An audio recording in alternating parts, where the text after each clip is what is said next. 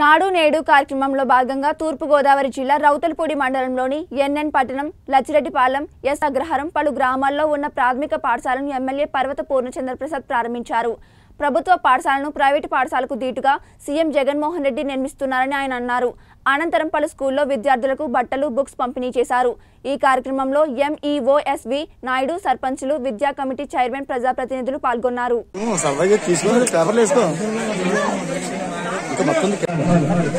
ఈ రోజు గుమ్మరాల గ్రామానికి ఇచ్చేస్తున్న తర్వాత పూర్ణచంద్ర ప్రసాద్ గారికి స్వాగతం సుస్వాగతం పలుకుతూ ఈ రోజు నాడు నేడు కార్యక్రమానికి निकाह कहा कब्जे नहीं निकाह नहीं तो मोहन नहीं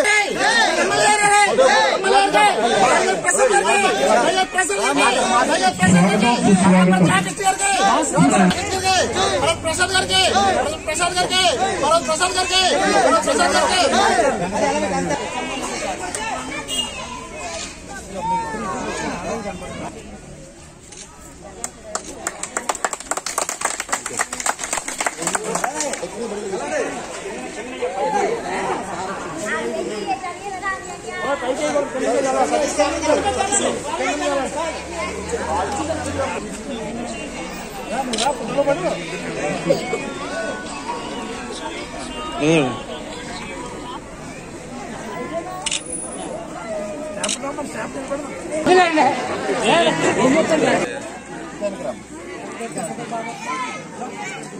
ప్రసాద్ గారికి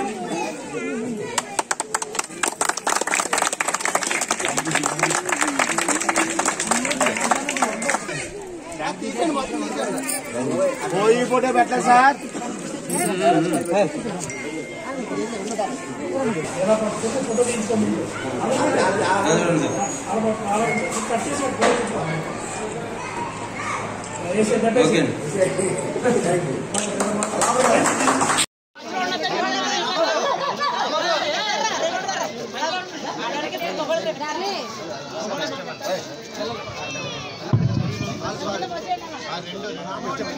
నాడు నేడు పాఠశాల ఈ పాఠశాల నుంచి మలవరం యూపీ స్కూల్కి ట్రాన్స్ఫర్ అయినట్టుగా కూడా తన భుజస్కంధాలపై వేసుకొని సమ్మర్లను కూడా వచ్చి పాఠశాలను పర్యవేక్షించి చక్కగా పాఠశాలని పూర్తి చేసినటువంటి పూర్వ ప్రధానోపాధ్యాయుల వారిని శ్రీ ఎర్ర శ్రీనివాస్ గారిని గౌరవ ఎమ్మెల్యే గారు సత్కరిస్తారని షాల్ తీసిన మాస్టర్. హరిబాబు గారు. హరిబాబు గారు షాల్ ఎర్ర శ్రీనివాస్ గారిని ఎమ్మెల్యే గారు సత్కరిస్తారు. ఈయన ఈ పాఠశాల నుంచి మల్లవారి తీసుకుని ట్రాన్స్ఫర్ అయ్యారు. అయినా సరే దగ్గరుండి కట్టించారు. చక్కగా ఓ పిలిచండి గారు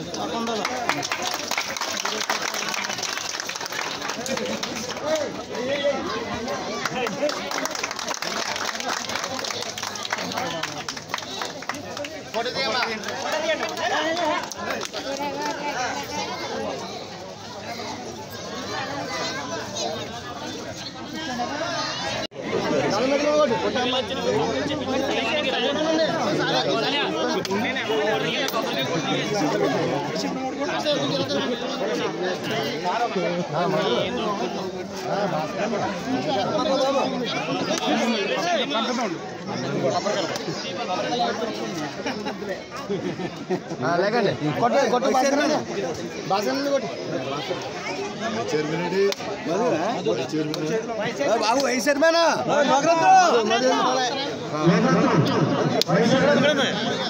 నవరత్నం ఒకటి మీరు కొట్టండి సార్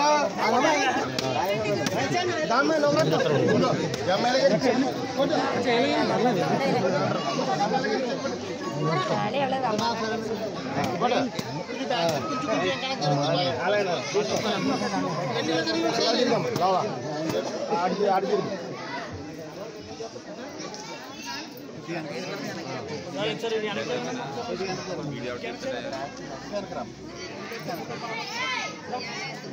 కొట్టు. కొట్టు. రావా. ఆడికి ఆడికి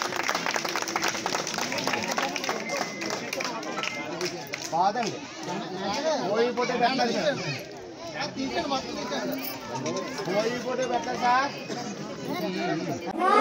లేదు. ఇంటికెంతో రంగులు ఉన్నాయా? ఇప్పుడు? ఫ్యాన్లు ఉన్నాయా ఇప్పుడు? ఇంటికెంతో గచ్చులు ఉన్నాయా? టైల్స్ టైల్స్ వేశారు. ఫ్యాన్లు వేశారు. లైట్లు వేశారు. ఆడపిల్లలకి బాత్రూమ్లు కట్టారు. కట్టారా? మగ పిల్లలకి బాత్రూమ్లు కట్టారు. ఆ? బెంచీలు రంగురంగుల బెంచీలు వచ్చినాయా? ఇవన్నీ ఎందుకు చేస్తున్నారు? ఎవరు చేస్తున్నారు ఇవన్నీ నేను కాదు జగన్మోయ? జగన్మోహన్ రెడ్డి గారు మన ముఖ్యమంత్రి గారు మన గ్రామాల్లో ఉన్నటువంటి స్కూల్స్ అన్నీ కూడా శుభ్రంగా ఉండాలి. ఆడపిల్లలకు కావాల్సినటువంటి సౌకర్యాలన్నీ ఉండాలి. మగపిల్లలకు కావాల్సినటువంటి అవసరాలన్నీ తీర్చాలి. కూర్చోవడానికి బల్ల ఉండాలి.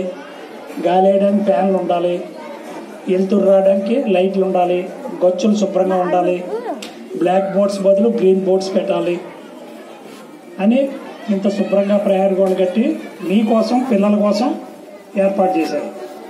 ఏం చేద్దంటే మీరు బాగా చదువుకోవాలని. ఎందుకు చదువుకోవాలి మీరు? ఏ కూలి పని పోవచ్చు కదా? ఎందుకు చదువుకోవాలి? అది కూడా కరెక్ట్ కాదు.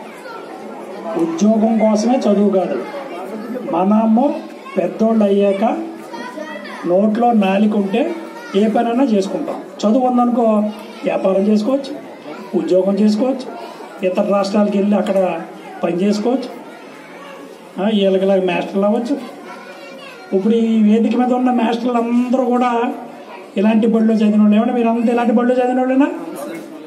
గవర్నమెంట్ స్కూల్లోనే చదివారు.